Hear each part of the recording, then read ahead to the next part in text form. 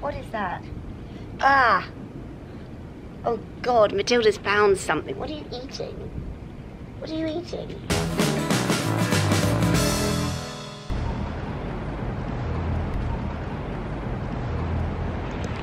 So, George called me to say that his mum has left a gift for me in my locker. So obviously, I'm racing in to see what it is. I've never met his mum, but I think she's very glamorous. An email about some family business has been. So this is my locker, and If we do move quiet, make it this is a gift make it one minute. from George's mum. Hmm.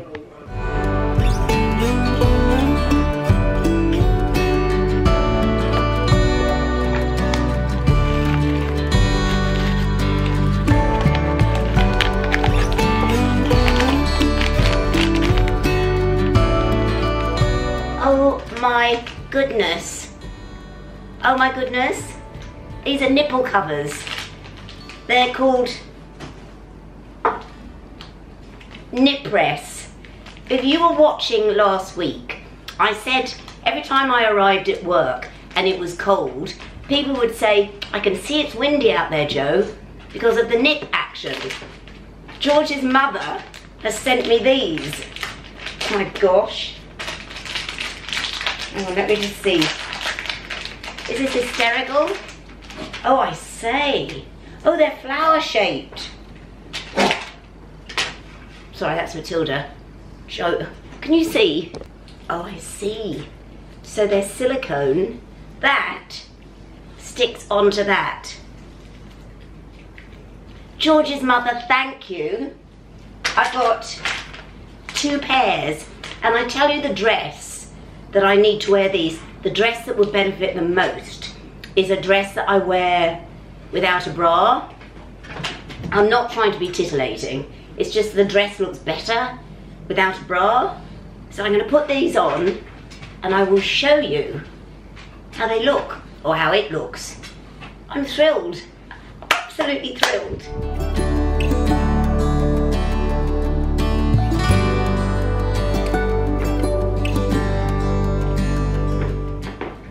So this is the dress that I don't like to wear a bra with it because it makes me look very big chested. So I'm wearing the silicone covers and I think it suits this dress really, really well. I love this dress. Vicky Russell, Ken Russell's daughter, her sister designs these. In fact, I'll leave a link below. But I'm really pleased. I used to wear it with a bra and it was all sort of hoisted up. This is much better.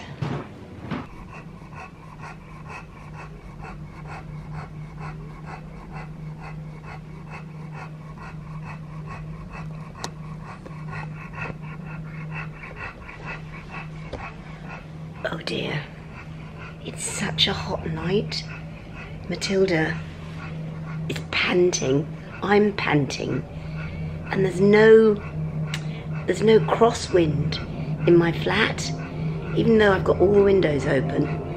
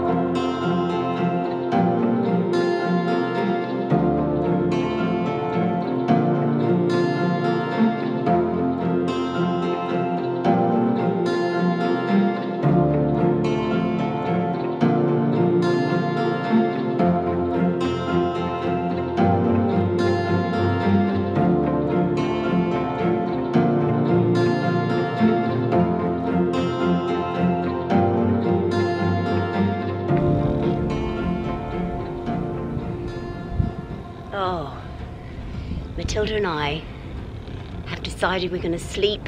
Hang on a moment. That's better. Matilda and I have decided we're going to sleep up on the roof. It's just so hot in my flat. It's because there's there's um, windows all along one wall, and then no other windows unless I have my flat door open. But it's lovely up on this roof, isn't it, Tild? Just a lovely breeze. I've never slept up here before. No. Neither's Matilda.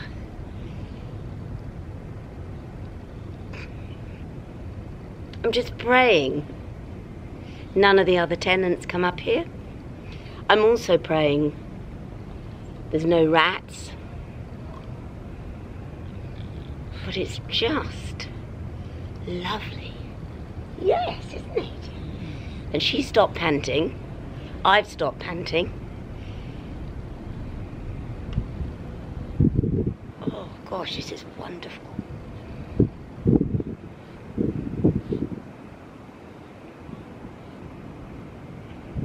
I wonder how long will last. Is there dew? A dew doesn't fall, does it? What's that? Come on, we've got to settle. We've got to settle, Matilda. Ah, let's see how long we last up here. See you in the morning.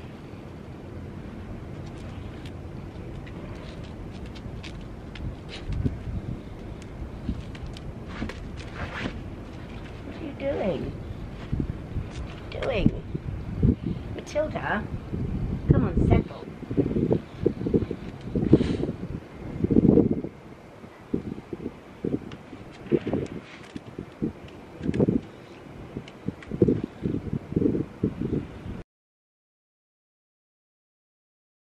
What is that?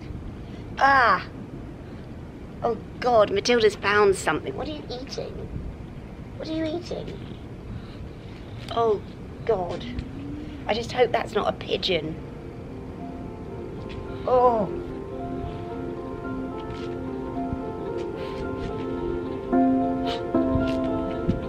Well, that was not a success.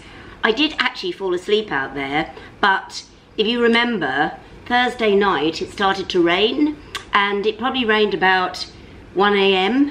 And um, so I've my duvet is now damp.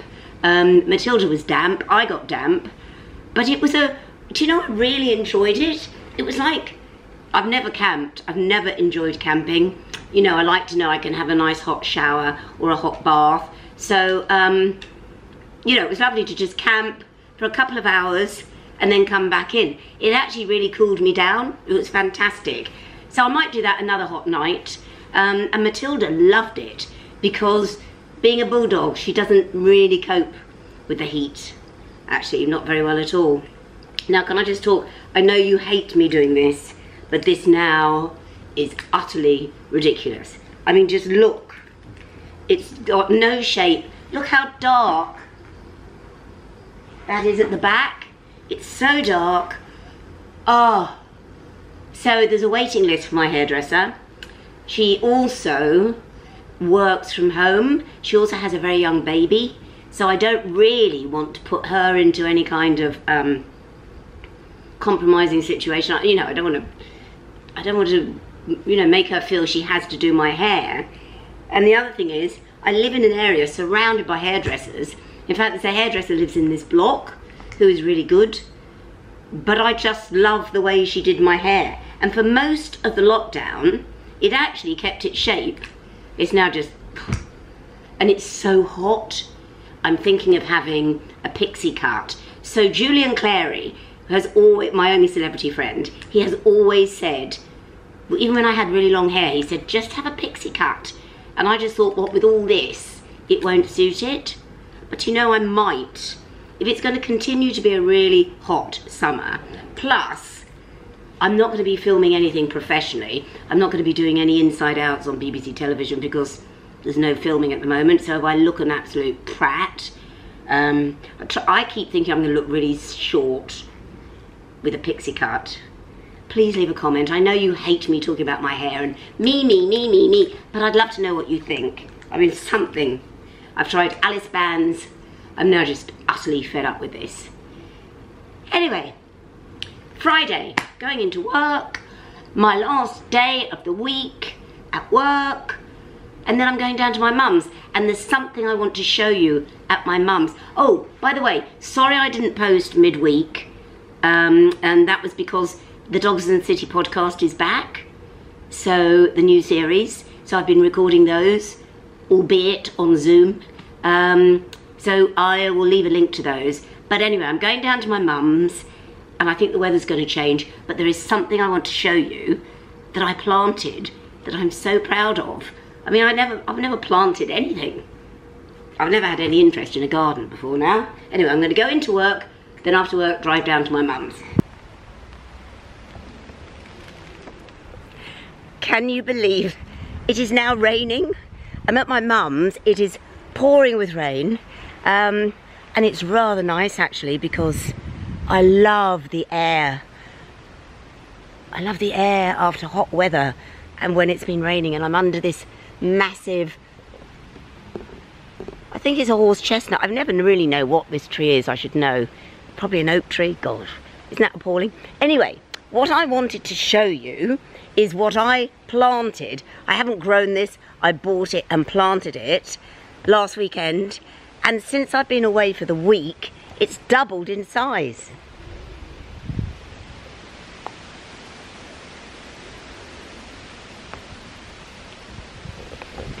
It's a foxglove.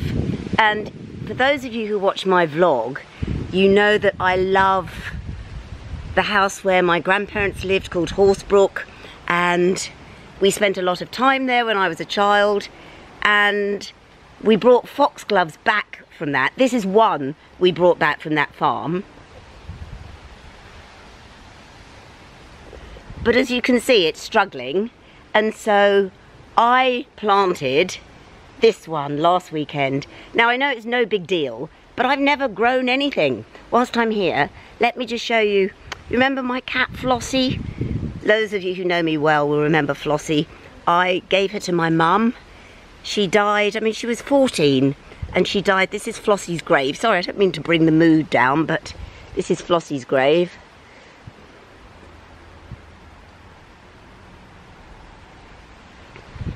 Which is rather lovely. And I love this bit of the garden, it's quite wild. Anyway, I'm going to have to send all this to Filipe. Otherwise you're not going to have a vlog this Sunday. Just bobbing down. Where's the, where is the foxglove? Woo! There we go. So, that is it from me this week. That's better. Um, give us a thumbs up. Please subscribe. Please tell everyone else to subscribe. Gosh, look at this. Uh, have a good week. I will try and get a midweek vlog out. Don't forget to listen to Dogs and the City, the podcast, which is up now, the new series. And um, leave a comment. I love reading your comments. I really love reading your comments. I read them out to my mum, um, especially when they're about her. But she's not in this vlog this week. I'll make sure she's in next week's. Have a great week. Gosh, the sun is now coming out. I don't need my brolly. Have a great week. See you Wednesday. Bye.